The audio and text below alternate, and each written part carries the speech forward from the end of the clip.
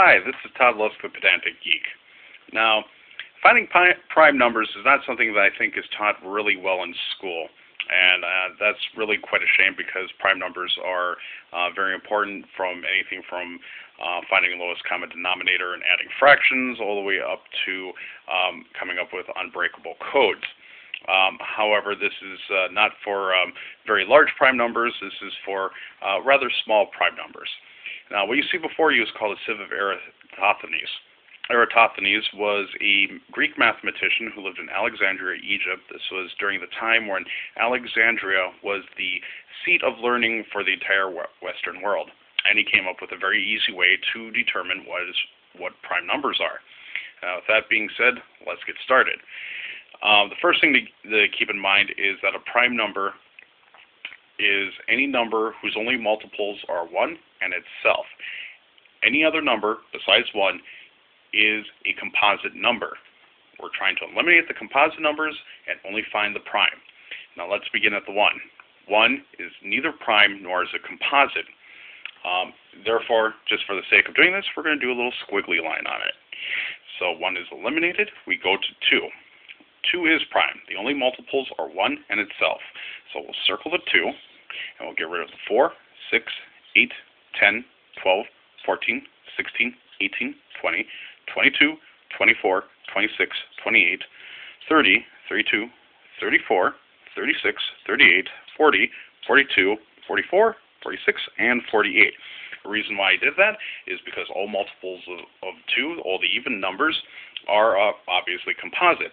Now, the nice thing about the sieve of Eratosthenes is that when you go to the next number, of the ones that are not crossed out yet, it is a prime number. 3 is prime. So let us eliminate all the multiples of 3, which are 9, the 12 is there yet, 15, 21, 27, 33, 39, 42 is eliminated, the 45, and the 48 is already eliminated. So that brings us over to the 5, which of course is prime. So all multiples of 5 must be eliminated. 15, 20, and finally the 25. Um, 30 is eliminated. The 35 is not until now. 40 and the 45 is eliminated, and that's the last number there. Now, 7 is the next prime number. So all multiples of 7 must be eliminated. The 14, the 21, and the 28 are, 28 are eliminated, um, as well as the 35 and the 42. The only one that's not eliminated that's a multiple of 7 is 49, which we will eliminate right now. Now, we can stop right there because the beautiful thing about the sieve of Eratosthenes is that you will notice that 7 multiplied by 7 is 49. We've basically we've already gone to, we've um, basically eliminated all the possibilities that we need to um, to account for all the prime numbers.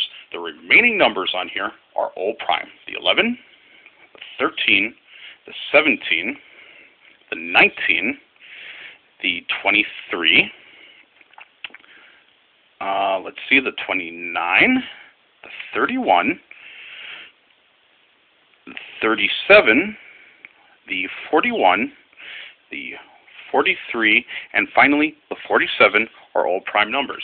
In less than four minutes, we were able to determine all of the prime numbers from between 1 and 49. I hope this helps you, and have fun with math, kids.